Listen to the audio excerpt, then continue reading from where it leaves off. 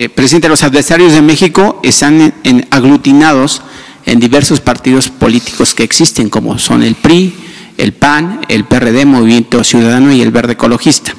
Pero también están aglutinados en algunos medios de comunicación y, por supuesto, también en- dentro del Poder Judicial e incluso dentro de la iniciativa privada.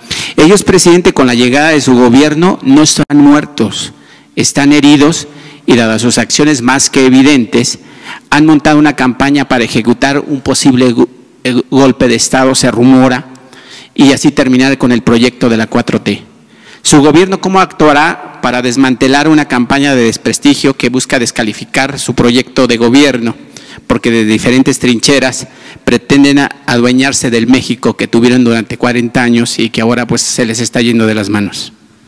Pues yo no veo, la verdad, ningún riesgo. No quiere decir que sea ingenuo o que esté confiado, conozco la historia muy bien, sé lo que son capaces de hacer los conservadores para evitar los cambios. Nos enseña eso la historia.